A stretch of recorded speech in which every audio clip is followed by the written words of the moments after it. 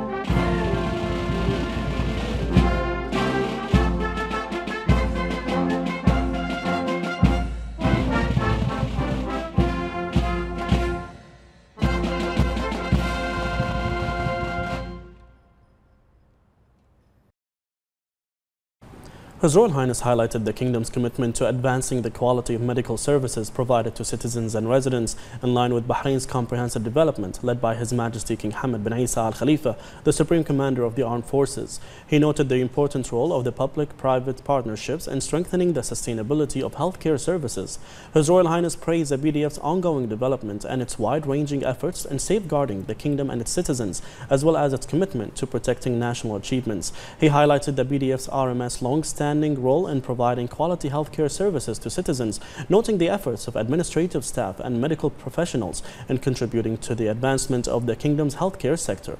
His Royal Highness unveiled a commemorative plaque marking the inauguration of the RMS clinics and was presented with a souvenir by the commander of the RMS on this occasion.